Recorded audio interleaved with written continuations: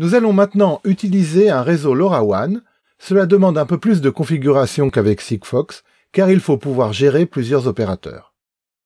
Votre objet possède un identificateur, le DevEI, qui est sur 64 bits. Le programme LoRaWAN devei.py va l'afficher. Maintenant, chaque opérateur va avoir sa Network Gateway ou LNS, LoRaWAN Network Server, qu'il va falloir configurer pour qu'il accepte notre objet et nous renvoie l'information qu'il produit. Nous allons avoir besoin d'un secret sur 128 bits qui sera partagé entre le LNS et l'objet. Il faudra aussi un API pour identifier les applications qui tournent, euh, mais son intérêt est limité. Une fois que ces informations sont connues de l'objet et du LNS, l'objet va émettre un message John Request contenant son identité et authentifié avec le secret. Comme toujours, il va être reçu par tous les opérateurs couvrant la zone.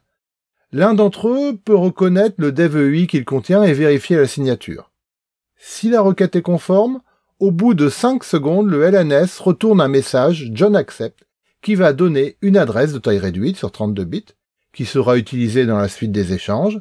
Et le message John Accept va également permettre à l'objet de créer la même clé de chiffrement que le LNS pour la session de communication entre l'objet et le LNS.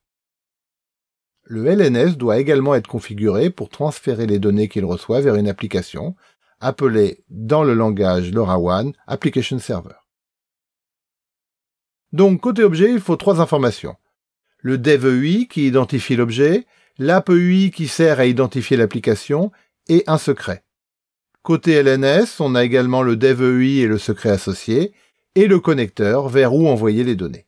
Nous allons détailler plusieurs configurations de LNS car la logique n'est pas la même en fonction de l'opérateur.